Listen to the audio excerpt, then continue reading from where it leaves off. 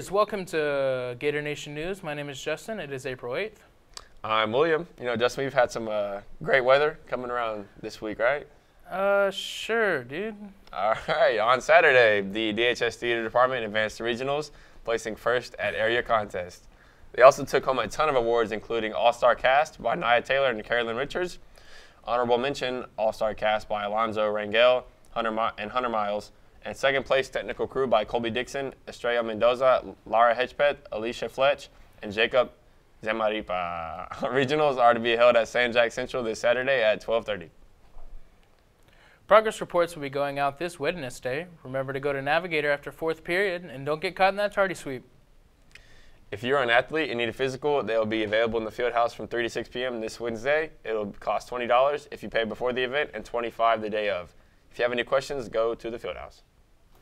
This Friday is the final day to donate to the peanut butter and jelly competition. Remember to bring a jar of jelly to donate to the Galveston County Food Bank and win the trophy.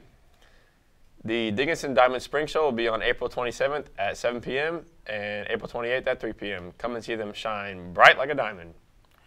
Good luck to all of the STAR testing students this week. Do your best on Tuesday and Thursday.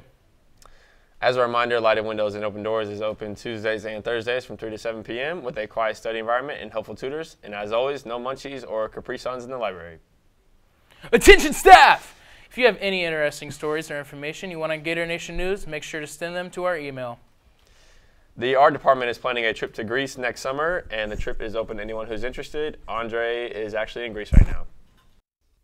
Hi, I'm Andre, and I'm in Greece right now. The art department is taking a trip here next year, and I seem to have arrived just a little bit early. But if you're interested in this amazing opportunity, uh, please visit room E101 at 6 p.m. on April 23rd. There's going to be a mandatory meeting there if you want to go on the trip. Uh, now, you don't actually have to be an art to attend the trip, so don't worry about that.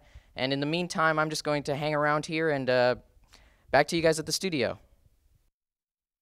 Well, Gators, that's it for today. Thank you for watching Gator Nation News.